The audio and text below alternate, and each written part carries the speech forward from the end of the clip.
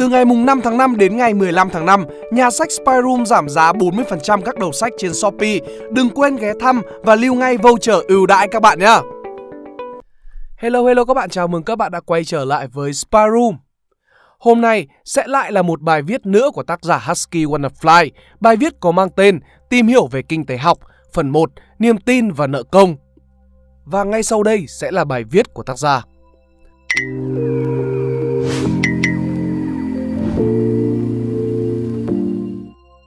Có một câu chuyện đùa về kinh tế học mà mình được nghe kể như thế này.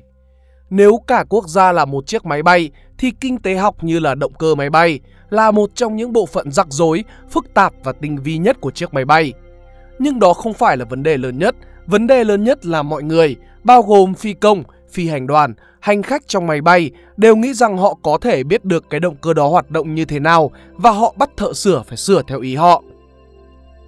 Nhưng thật ra kinh tế học bắt đầu không khó như vậy. Kinh tế học xoay quanh vấn đề sau. Tài nguyên thì có giới hạn và xã hội thì phải làm sao để phân phối tài nguyên giới hạn đó theo một cách hiệu quả nhất.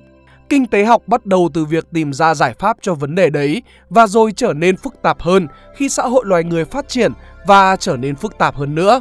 Bạn biết đấy, càng có nhiều người thì càng có nhiều rắc rối. Chúng ta cần lưu ý là trong định nghĩa dùng từ hiệu quả, efficiency chứ không phải là hợp lý, reasonable và nó càng không phải là hợp lòng dân, popular. Tuy nhiên, thế nào là hiệu quả? Hiệu quả có thể hiểu là giúp cho nền kinh tế phát triển tốt nhất. Như vậy, khái niệm hiệu quả ở mỗi quốc gia là khác nhau vì thứ tốt nhất cho quốc gia này chưa chắc đã là thứ tốt nhất cho quốc gia khác. Ta có thể thấy trường hợp một chính sách thiên về sự hiệu quả hơn sự hợp lý là phạt tiền người vi phạm giao thông ở Phần Lan trong một bài viết trước ở Spyroom. Theo đó, bạn càng giàu thì bạn bị xử càng nhiều tiền. Dù là một người nghèo hơn, mắc cùng lỗi đó sẽ bị phạt ít hơn. Rõ ràng người giàu sẽ cảm thấy bất công, cứ như họ bị phân biệt đối xử vì họ giàu. Nhưng chính phủ Phần Lan làm như vậy là để cố gắng giảm khoảng cách giàu nghèo và phân phối của cải trong xã hội một cách hiệu quả. Tuy nhiên, đó không phải là trường hợp phổ biến. Thường thì những người làm chính sách sẽ cố đưa ra chính sách sao cho vừa hợp lý, vừa hiệu quả nhưng xu hướng của đa số các chính trị gia thì lại cố gắng làm sao để chính sách đó nó hợp lòng dân để được người dân bầu cho mình. Và do đó, họ hay hứa hẹn những thứ hão huyền, những thứ nghe thì hợp tai như việc ép công ty Mỹ phải quay lại mở nhà máy tại Mỹ của Trump. Nếu một ngày nào đó bạn nghe đến từ chính sách hợp lòng dân thì bạn hãy nhớ phương châm này là của chính phủ Singapore. Chính phủ phải làm những gì đúng đắn chứ không phải những gì hợp lòng dân. Tất nhiên là nếu một chính sách vừa đúng đắn, vừa hợp lòng dân thì là quá tuyệt. Bài viết này xoay quanh nền kinh tế Việt Nam và chúng ta hãy bắt đầu tìm hiểu một vài vấn đề mà mọi người hãy nhắc đến nhé. Nền kinh tế vận hành bằng niềm tin. Không, đây không phải là một câu nói mỉa mai gì cả, đây là một câu khẳng định. Hẳn ai trong số chúng ta cũng sẽ quen một người luôn nói rằng xã hội này không thể tin ai được, rằng buôn bán kinh doanh phải lừa lọc mới khá được, buôn bán mà chân thật thì chỉ có lỗ. Và rồi bạn mở báo VN Express lên, đọc và lại thấy một bài viết về nạn lừa đảo. Bạn cảm thấy bi quan cho xã hội, bạn cảm thấy rằng sống trung thực thì chỉ có thiệt. Bạn hãy lạc quan lên, vì thực ra chính sự trung thực trong con người đã giúp tạo nên xã hội hiện đại này. Chính niềm tin của con người với nhau đã tạo nên một xã hội thịnh vượng như hôm nay. Chúng ta hãy bắt đầu tìm hiểu về vấn đề này bằng việc tìm hiểu về lịch sử ngành ngân hàng. Ngân hàng đã có từ thời xa xưa nhưng nó khá nhỏ lẻ và không có hệ thống rõ ràng, thường là tư nhân. Sau này người Do Thái bắt đầu phát triển một hệ thống ngân hàng hay là ngân hàng thương mại ở Trung Đông để phục vụ cho việc giao thương. Ngành ngân hàng ở Tây Âu thì bắt đầu trở lại sau thời La Mã để phục vụ cho các cuộc thập tự chinh. Đây là bản đồ của quân thập tự chinh đi từ Âu sang Á. Với thời đó, đây là chặng đường dài, nếu đi đường biển thì mất 6 tháng để tới, đi đường bộ thì có lẽ lâu hơn. Khi quân đội thập tự chinh đến được Jerusalem, họ tất nhiên cần tiền để chi tiêu, nhà vua thì cần tiền để trả lương cho bộ máy cai quan, nhưng làm sao để vận chuyển tiền được? Rõ ràng là nếu mang một lượng lớn tiền mà bây giờ chủ yếu là vàng bạc lên thuyền hay đi đường bộ đều quá nguy hiểm. Họ có thể gặp cướp hoặc tài ương như bão, dịch bệnh hoặc bị ăn trộm mất. Nếu bạn là một thương gia đến phương Đông sinh sống thì phải làm sao? Bạn không thể xách một túi tiền theo được. Để giải quyết vấn đề, một hệ thống gửi và rút tiền đã được lập ra. Theo đó, trước khi rời nước Pháp, bạn sẽ gửi vàng vào trong hệ thống ngân hàng của nhà thờ và sẽ được nhà thờ đóng dấu chứng nhận lên một tờ giấy. Bạn sẽ giữ kỹ tờ giấy đó, mang theo mình trên chuyến hành trình dài đằng đặc. Và khi đến nơi, bạn sẽ đến chi nhánh ngân hàng địa phương, đưa tờ giấy đó ra và lấy tiền của mình. Nghe thật đơn giản. Nhưng bạn nên biết, đây là thế kỷ thứ 12 và bây giờ không hề có luật pháp chặt như bây giờ. Nhà thơ có đủ sức mạnh và uy quyền để không trả tiền cho bạn. Họ có thể nói dối rằng đã có thảm họa xảy ra và họ đã mất hết tiền. Họ có thể đuổi bạn đi mà không cần lý do gì cả. Rốt cuộc thì bạn làm sao chống họ được? Bạn chỉ đơn giản là một thương gia, bạn đang ở một xứ lạ, cách quê hương 8 tháng đi đường, bạn có thể còn không biết nói tiếng địa phương, bạn là một kẻ da trắng lạ mặt, đang ở một quốc gia phương Đông và nhà vua có thể không có ở đó để giúp bạn. Quan tòa thì dễ dàng bị đút lót bởi những kẻ lắm tiền. Thậm chí họ có thể gửi lại bạn vàng giả. Có quá nhiều điều kiện thuận lợi để chi nhánh ngân hàng địa phương nuốt tiền của bạn và tống bạn ra đường ăn xin. Nhưng họ đã không làm thế. Bạn đưa giấy chứng gửi tiền, một mẩu giấy nhàu nát có con dấu của nhà thờ và anh nhân viên khi nhìn thấy tờ giấy đó và sau khi kiểm tra danh tính của bạn kỹ lưỡng, gửi lại bạn đúng số vàng đó và là vàng thật, họ đã không gian dối và nhờ sự không gian dối đó mà hệ thống đã nhận được sự tin tưởng của người dùng, của vua chúa và quan chức để mà tồn tại hơn trăm năm trời cho đến khi hiệp sĩ dòng đèn bị xóa sổ vào năm 1307. Hệ thống ngân hàng bắt đầu như thế, nó bắt đầu từ việc những người làm ngân hàng xây dựng uy tín để khách hàng của họ yên tâm mà gửi tiền vào. Chỉ mới hơn 100 năm trước, mối lo lớn nhất của người đi gửi tiền là liệu tôi có thể rút lại được tiền hay không. Bây giờ bạn đi gửi tiền thoải mái, hầu như không bận tâm đến gì và thứ bạn quan tâm thường là lãi suất tiền gửi có tăng hay không. Bạn không nhận ra điều đó vì bây giờ có quá nhiều thứ được xây nên để đảm bảo lòng tin của khách hàng, bao gồm hệ thống luật pháp, cảnh sát, tòa án, hệ thống thông tin. Nhưng mọi thứ vẫn chỉ xoay quanh một thứ là niềm tin. Hãy tưởng tượng xem bạn đi du học ở London và bạn mở tài khoản ngân hàng. Bạn sẽ bỏ vào đó 100.000 USD. Nhưng sao bạn dám bỏ tiền vào đó? Cái cô nhân viên cầm tiền của bạn không biết bạn là ai, bạn cũng không biết cô ấy tên là gì. Có thể còn chẳng phát âm được cái tên lạ hoắc ghi trên bảng tên của cô ấy. Cô ta thì không nói tiếng Việt, người da đen, tóc xoăn, khác hoàn toàn bạn. Còn bạn thì đang ở cách nhà hàng ngàn cây số, đứng ở giữa một tòa nhà toàn người lạ và giao tiền cho người lạ. Tại sao bạn dám giao tiền cho họ nếu như bạn không tin rằng bạn sẽ rút được tiền ra được và rút ra được nếu bạn muốn? Một ví dụ khác của niềm tin mà bạn có lẽ đã không nhận ra đó là tiền. Và điều thú vị của nó là tiền chỉ có giá trị khi bạn đem ra dùng nó. Nghe hơi lạ tai, nhưng bạn có thể lấy tờ 100 ngàn này cất vào ngăn kéo và khóa lại, không bao giờ đụng đến. Thì như vậy, có phải nó chẳng hề có giá trị? Đây là tờ tiền mệnh giá 500 nghìn. Câu hỏi đặt ra là, điều gì khiến tờ tiền này có giá trị là 500 ngàn Việt Nam đồng? Tự bản thân tờ giấy này không có giá 500 ngàn Việt Nam đồng, nhà in chỉ mất vài trăm đồng để in ra một tờ như thế. Cái giá trị của nó có được là do nhà nước nói vậy, theo đúng nghĩa đen nó là chính phủ nói với bạn như sau. Ngân hàng Nhà nước Việt Nam tuyên bố tờ tiền có màu ABC, kích thước XYZ, in theo phương pháp MNP, làm từ vật liệu EFG với thông số kỹ thuật bla bla bla, sau đó có giá trị 500 ngàn Việt Nam đồng. Và mọi người hãy dùng nó như thể nó có giá trị là 500 nghìn Việt Nam đồng. Và bạn tin vào chính phủ chứ? Bạn có thể nói là không tin, nhưng khi bạn dùng 500.000 Việt Nam đồng để thanh toán ở siêu thị, tức là bạn vẫn đang tin vào chính phủ. Cái giá trị 500.000 Việt Nam đồng tiền này phụ thuộc vào chính phủ và niềm tin của người dân và chính phủ giúp nó được lưu hành. Để dễ hiểu hơn, hãy tưởng tượng một ngày đẹp trời bạn thức dậy và chính phủ biến mất. Ok, đây là ví dụ để giải thích về kinh tế học, tôi không có ý làm loạn gì đâu đấy. Vậy theo bạn, chuyện gì sẽ xảy ra với tờ tiền 500.000 Việt Nam đồng? Nó sẽ thành giấy vụn, không ai còn xài nó nữa. Cái tờ 500 ngàn Việt Nam đồng vốn có thể giúp bạn ăn một bữa hải sản xả láng ở Hà Nội, bỗng nhiên lại không có giá trị. Đó là lý do những đồng Rinsmark của Đức Quốc xã không còn được sử dụng sau năm 1945. Hay sau năm 1975, tờ bạc ở miền Nam bỗng thành giấy vụn.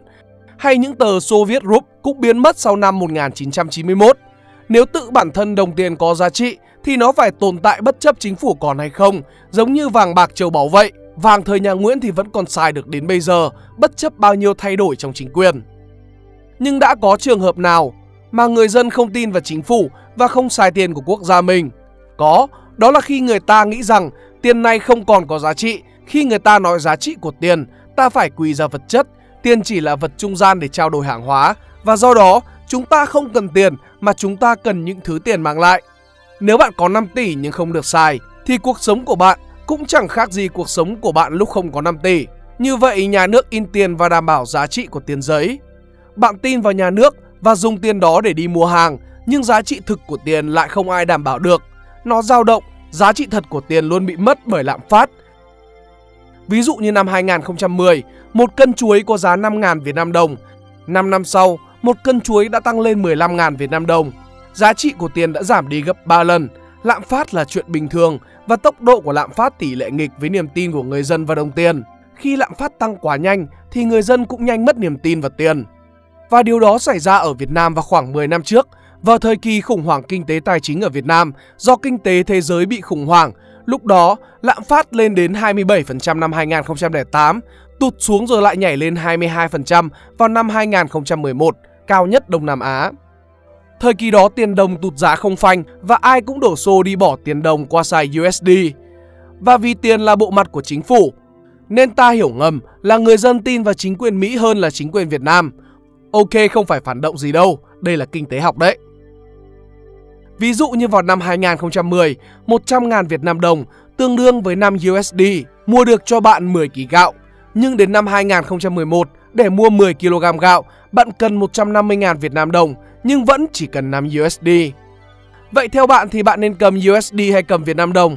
Vì tiền đồng sẽ mất giá nên người dân không tin vào tiền đồng, tức là người dân không tin vào nhà nước nên người dân tích trữ USD, ngay cả doanh nghiệp cũng chuyển qua thanh toán bằng USD thay vì là tiền đồng trên chính đất nước Việt Nam. Điều này lại càng làm trầm trọng thêm vấn đề. Ban đầu tiền mất giá và khi người dân không tin vào đồng tiền nữa và không dùng nó nữa thì giá trị của nó lại càng tụt nhanh hơn. Đây là điều nguy kịch vì người dân Việt Nam không tin vào tiền Việt thì nó không chỉ gây rối loạn ở nền kinh tế mà còn làm mất đi uy tín của chính phủ. Nhà nước giải quyết vấn đề bằng cách tung ra nhiều văn bản cấm thanh toán, giao dịch bằng ngoại tệ nhưng không thể cấm người dân tích trữ USD được nếu không muốn xảy ra bạo loạn. Thì việc tích trữ USD của người dân khiến dự trữ ngoại tệ của nhà nước khánh kiệt vì người dân đem hết tiền đồng ra ngân hàng đổi qua USD. Cuối cùng ngân hàng nhà nước phải tung ra mức lãi suất gửi tiền tiết kiệm theo hướng khuyến khích người dân đổi USD qua dùng lại tiền đồng. Và đó là lý do tại sao chúng ta có lãi suất tiền gửi ngân hàng như trong hình dưới đây.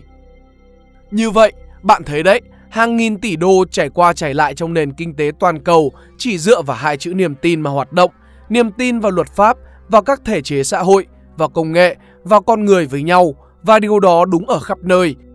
Ngay cả trong giới xã hội đen hay buôn ma túy, nếu những tên trùm ma túy không tin tưởng lẫn nhau, họ sẽ bắn giết thanh toán băng đảng và như thế tự làm suy yếu nhau, như cuộc chiến ma túy ở Mexico đã cho thấy.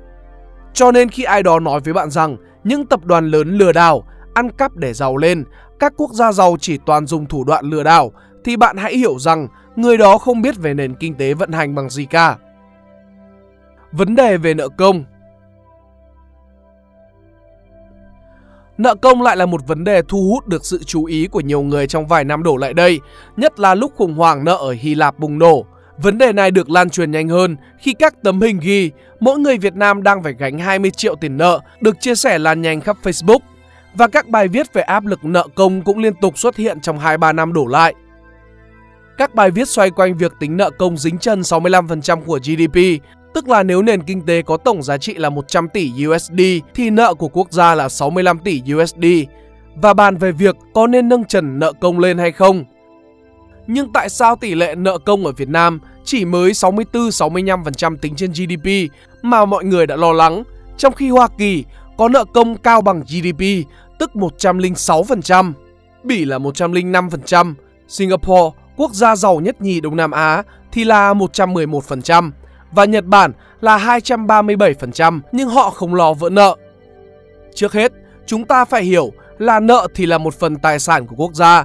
Nếu ai học kế toán và biết về công thức kế toán thì sẽ rõ. Trong cuộc sống ngày nay, chúng ta nghe đến nợ là chúng ta cảm thấy nó rất xấu hổ. Tốt nhất là sống mà không nên bị nợ nần. Nhưng ở quy mô làm ăn lớn, nợ là thứ quan trọng. Không có công ty nào là có đủ hết vốn để duy trì hoạt động và đầu tư. Các công ty luôn cần vay nợ, dù đó là Google, Microsoft hay là FPT. Ở mức độ quốc gia thì cũng tương tự và tùy vào chính sách phát triển mà một quốc gia có thể có nhiều nợ hay ít nợ. Nếu họ có những chính sách tốt thì một đồng nợ sẽ sinh ra 3 đến 4 đồng lời, còn tệ thì chỉ làm đủ để trả nợ. Thường thì mọi người hay nghe đến việc nợ công cao là sợ và dân gian hay nói nợ ngập đầu, nhưng thực ra khi một quốc gia quản lý nợ tốt thì quốc gia đó thậm chí còn không cần phải cố giảm nợ đi mà là tăng nợ cũng được. Nợ quốc gia chỉ trở thành một vấn đề khi quốc gia đó không thể trả được nợ hoặc khi chủ nợ nghĩ rằng quốc gia đó không có thể trả được nợ. Nghe đơn giản phải không? Nhưng nếu bạn nghĩ một chút thì bạn sẽ nhận ra điều này. Một quốc gia có thể vay bao nhiêu cũng được, miễn là quốc gia đó có thể trả nợ. Tức là việc vay nợ không bị giới hạn ở mức 65% GDP hay bất kỳ mức nào. Nếu người Nhật có thể duy trì được nợ công ở mức 237% tổng GDP thì tức là họ vẫn có thể trả được nợ. Người Mỹ cũng thế, tuy nợ của họ là 106% GDP, tức là khoảng 15.000 tỷ USD, họ vẫn có thể trả nợ được, do đó họ không lo về nợ công. Còn Việt Nam tính đến năm 2016 là nợ 52,9 tỷ USD nhưng đã nhanh chóng gặp nguy cơ không thể trả được. Như vậy so sánh quy mô nợ giữa hai quốc gia là sai lầm. Nếu so sánh, hãy so sánh về khả năng trả nợ. Tuy nhiên, khi so sánh trả nợ, chúng ta cũng phải lưu ý nợ trong nước và nợ nước ngoài. Khi chính phủ huy động vốn cho một dự án, chính phủ có thể vay tiền người trong nước hoặc các tổ chức quốc tế thông qua trái phiếu hoặc các khoản vay. Do đó nếu nói người dân Việt Nam mỗi người đang gánh 20 triệu tiền nợ công là không chính xác lắm, vì trong 20 triệu đó có vài triệu là tiền người Việt nợ người Việt. Thường thì chính phủ chỉ lo nợ nước ngoài và nợ trong nước họ có thể quỵt hoặc là in tiền trả. Nghe thật buồn cười, nhưng thật sự thì viễn cảnh chính phủ vỡ nợ nước ngoài còn ghê hơn nhiều viễn cảnh chính phủ vỡ nợ quỵt tiền dân. Người dân có thể bực mình đấy, nền kinh tế có thể bị tác động xấu, nhưng rồi nó sẽ ổn định lại và người dân với lòng yêu nước sẵn sàng hùn tiền để giúp chính phủ hoặc cho luôn chính phủ tiền vay. Nhưng với chủ nợ nước ngoài thì chính phủ không thể in tiền trả được vì phải trả bằng ngoại tệ nên mọi cách chính phủ đều phải trả cho bằng được. Nếu chính phủ quỵt, default thì sau này hầu như sẽ không vay nổi được, có thể hiểu là sẽ không còn tiền để làm tàu điện, xây cảng, xây trường, xây đường hay bệnh viện. Vấn đề đáng buồn ở Việt Nam là chính phủ chủ yếu là nợ nước ngoài, nợ ít trong nước và cách tính nợ của chính phủ là kiểu tính né tránh, giảm nhẹ vì chính phủ không tính toán nợ doanh nghiệp nhà nước vào công nợ, mặc dù nghĩa vụ trả nợ các doanh nghiệp như Vinasin, Vinalize là của chính phủ. Theo đó có nghĩa là nợ công ở Việt Nam trên thực tế nhiều hơn so với những gì chính phủ đã công bố. Chúng ta nên xem xét trường phái trái phiếu Hoa Kỳ. Giả sử chính phủ Mỹ cần tiền cho một dự án lớn và họ cần tiền lớn, họ có thể đi vay, chính phủ sẽ đưa ra trái phiếu với nhiều kỳ hạn khác nhau và tất nhiên là các mức lãi suất khác nhau. Bạn là một nhà đầu tư và bạn quyết định mua trái phiếu ngắn hạn 3 tháng, lãi suất 1% với giá 1 triệu USD. Điều đó có nghĩa là về sau 3 tháng, bạn lấy lại 1 triệu USD, cộng thêm 10.000 USD tiền lời. Về mặt chính phủ Mỹ, họ cầm 1 triệu USD của bạn, làm ăn thu nhập được 1,5 triệu USD sau 3 tháng, rồi họ trả 1,01 triệu USD cho bạn giữ 491.000 USD còn lại. Như vậy, khi bạn mua là bạn đã giúp tăng nợ công của chính phủ Mỹ lên thêm 1 triệu USD, nhưng bạn không quan tâm là chính phủ Mỹ đang nợ hàng nghìn tỷ. Bạn chỉ quan tâm rằng số 1 triệu USD kia cùng với tiền lãi sẽ về với bạn. Nếu cứ dùng tiền nợ mà sinh ra lời thì chính phủ Mỹ không cần lo gì việc đến nợ ít hay nợ nhiều. Thị trường trái phiếu Mỹ chính là thị trường cực kỳ hấp dẫn vì chính phủ Mỹ có uy tín rất cao mọi người có thể yên tâm mua trái phiếu kỳ hạn 20, 25 năm mà không sợ bị mất tiền. Đó là lý do các doanh nghiệp và chính phủ nước ngoài, kể cả chính phủ Việt Nam lẫn Trung Quốc, bỏ ra hàng nghìn tỷ USD để mua trái phiếu Hoa Kỳ. Và như vậy, góp phần làm cho công nợ của Mỹ tăng lên. Như vậy nợ công của Mỹ không phải là gánh nặng của đất nước này mà nó cho thấy sự hấp dẫn của môi trường tài chính ở nước này. Ngoài ra tuy người Mỹ nợ đến 18.000 tỷ USD trong năm 2015, nhưng một nửa trong số đó, khoảng hơn 9.000 là nợ trong nước, tức là người Mỹ nợ nhau và chỉ có 9.000 là nợ nước ngoài, cho nên người Mỹ không chút gì lo về vấn đề vỡ nợ. Nhìn lại kinh tế học Khác với trường phái kinh tế học của Marx, trường phái kinh tế học tại Tây Âu và Mỹ quan tâm nhiều đến việc phân phối tài nguyên và coi lịch sử loài người hình thành dựa trên các hoạt động phân phối tài nguyên, tức là mua bán trao đổi hàng hóa, chứ không phải là qua đấu tranh giai cấp. Mặc dù nền kinh tế thế giới đã thay đổi rất nhiều kể từ thời Adam Smith, nhưng những vấn đề cốt lõi của nó vẫn nằm ở đó. Làm sao để phân phối tài nguyên hợp lý, tức là làm giảm khoảng cách thu nhập giàu nghèo, giúp người nghèo tiếp cận được các tài nguyên để họ vươn lên thoát nghèo. Ngay cả khi con người đã tạo ra những sản phẩm ảo như trò chơi điện tử hay Bitcoin hay công ty mạng thì chúng ta vẫn định nghĩa chúng là tài sản và vẫn dùng các nguyên tắc đã học trong kinh tế để phân phối chúng. Chúng ta cung cấp dịch vụ Internet giống như chúng ta cung cấp nước sạch cho người dân. Trong bài viết sau, chúng ta sẽ tìm hiểu thêm về các mặt khác trong một nền kinh tế. Nếu các bạn thích bài viết này, hãy like và share để ủng hộ chúng mình. Đừng quên bấm nút subscribe và nút chuông bên cạnh để không bỏ lỡ video nào bọn mình ra trong tương lai. Cảm ơn các bạn đã lắng nghe. Đây là Spy Room, còn mình là Peanut. See ya!